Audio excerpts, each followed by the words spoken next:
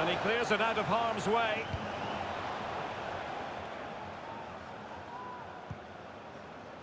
And nicely over the top. And they need to get tighter here. In position. Now, just the tackle that was needed.